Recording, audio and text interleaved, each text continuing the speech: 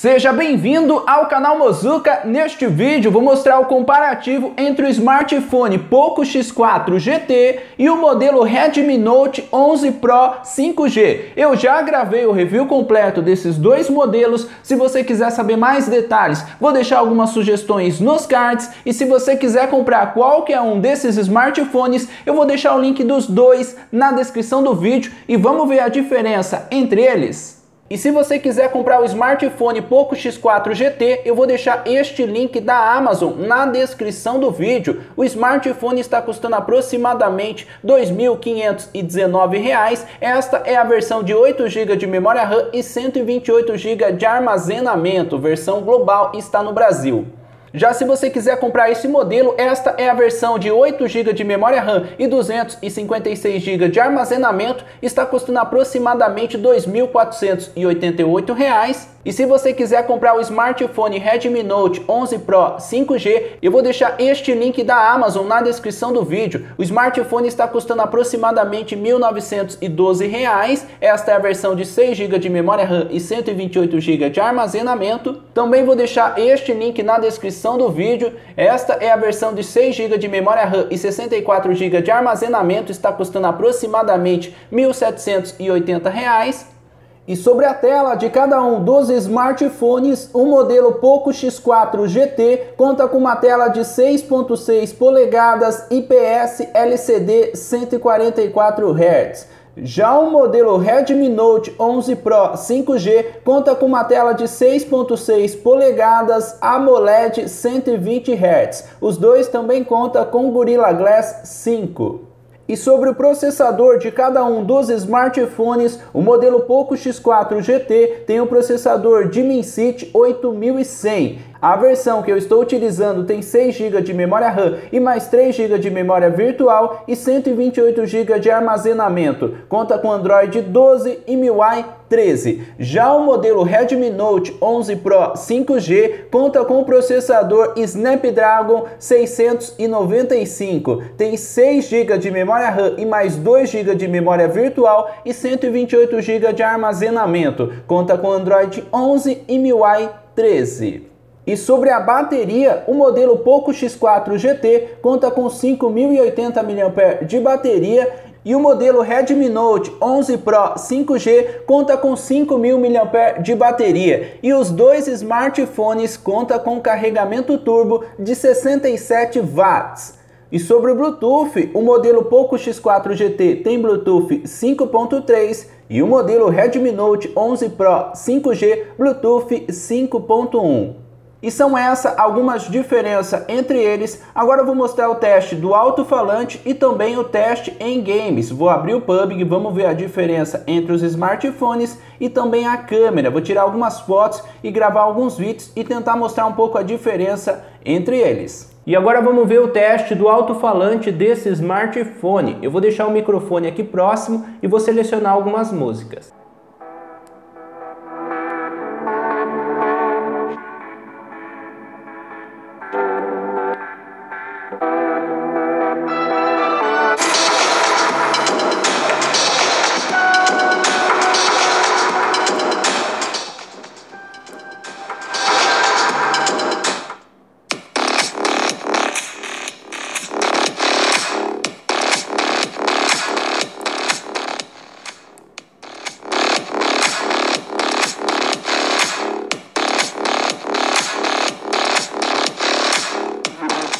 Pelos testes que eu fiz, eu achei que esse smartphone conta com alto-falante bom, eu achei alto volume e também não fica distorcido no volume máximo. E agora vamos ver o alto-falante desse smartphone. Vou deixar o microfone próximo, vou ficar aumentando, diminuindo o volume, vou mudar de música e vamos lá, vamos ver a qualidade do alto-falante deste modelo.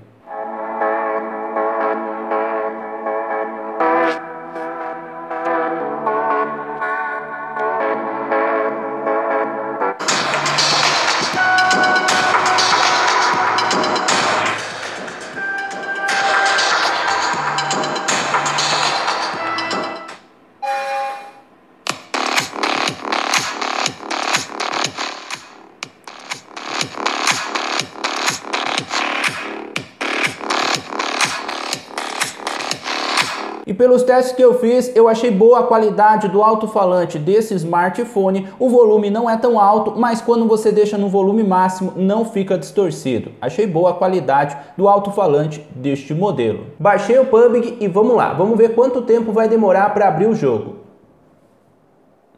Esse smartphone que também conta com Game Turbo.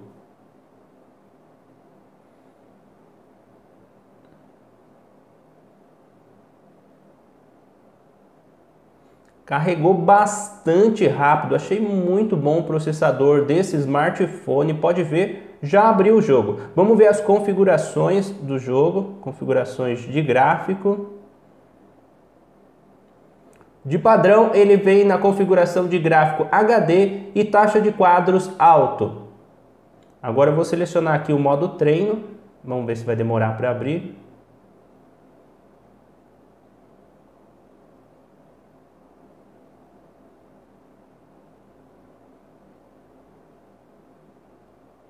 Pronto, já carregou. Achei bastante rápido. Pelos testes que eu fiz, achei muito bom o processador, a memória RAM desse smartphone. Para você que gosta de jogar, pode ser uma boa opção. Além disso, este modelo também conta com o Game Turbo.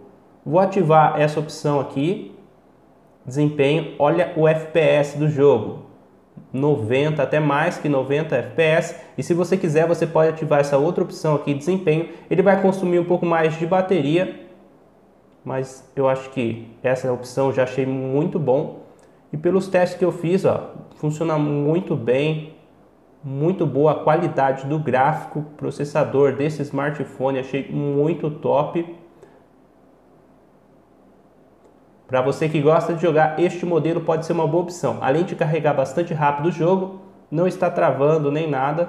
E vamos lá, agora eu vou mostrar o teste em games, baixei o PUBG, vamos ver quanto tempo vai demorar para abrir o jogo e também vou mostrar as especificações do jogo. Esse smartphone que também conta com Game Turbo, depois eu vou mostrar mais detalhes, pode ver está carregando o jogo, bastante rápido.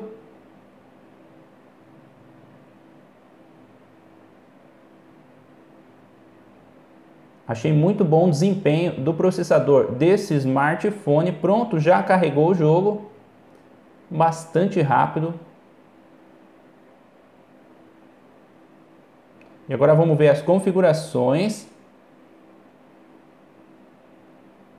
Configurações de gráfico. De padrão, ele vem na opção HD e aqui ó, na opção alta. Achei boa a qualidade do gráfico deste modelo. Agora eu vou abrir aqui o modo treino. Pronto, já carregou. E está funcionando muito bem. Achei muito bom esse smartphone e esse modelo também conta com Game Turbo. Aqui você consegue ver a porcentagem do uso da GPU, da CPU e também mostra o FPS. Pode ver que está rodando em 60 FPS. Você também consegue configurar aqui, aqui está no modo balanceado. Se você quiser mudar, você consegue mudar aqui no Game Turbo. Você consegue escolher o modo desempenho. Ele também vai notificar que o modo desempenho vai melhorar a qualidade do gráfico do jogo, mas também vai gastar mais bateria do smartphone. Aqui você também consegue escolher outras opções, não perturbe, gravar, brilho da tela. Bem legal o Game Turbo deste modelo, bastante completo na minha opinião. E pelos testes que eu fiz, está funcionando muito bem. Uma boa opção para você que gosta de jogar este novo smartphone da Xiaomi. E sobre a câmera desse smartphone, ele tem uma câmera principal de 64 megapixels e a câmera frontal de 20 megapixels que você pode estar escolhendo aqui, modo retrato, noturno, mais opções, vídeo curto, panorama, câmera lenta, timelapse. Este modelo que você consegue gravar em HD ou Full HD 30 fps ou em Full HD 60 fps ou em 4K. Achei bem legal essas opções. E já a câmera frontal, você consegue gravar em HD ou em Full HD 30 fps ou também em Full HD 60 fps. Achei boa a câmera deste modelo. E agora vou tirar algumas fotos e também vou gravar alguns vídeos com a câmera principal e também com a câmera frontal.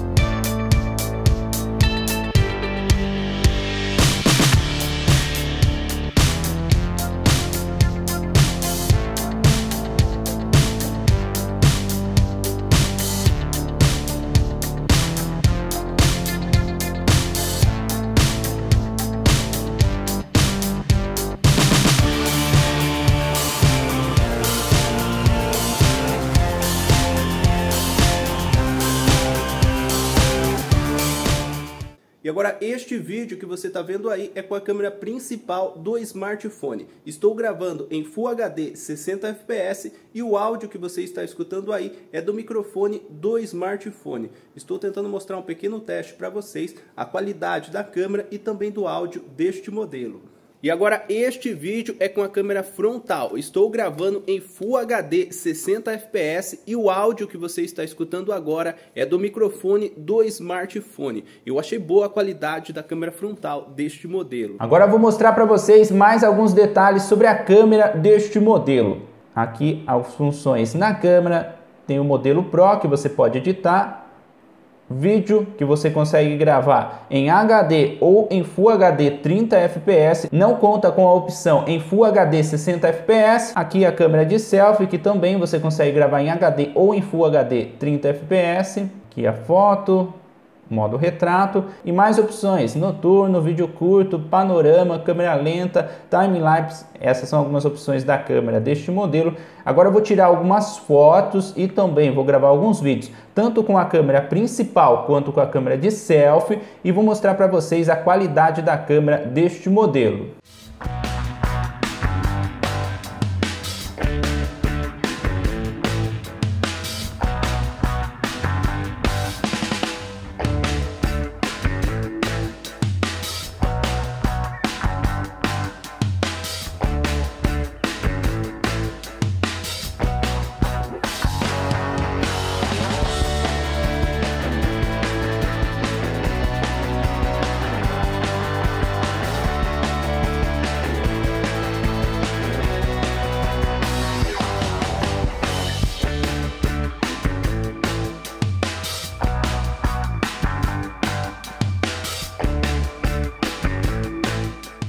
E agora este vídeo que você está vendo aí é com a câmera principal, estou gravando em Full HD 30 fps e o áudio que você está escutando aí é do microfone do smartphone. Estou tentando mostrar um pouco para vocês a qualidade da câmera deste modelo.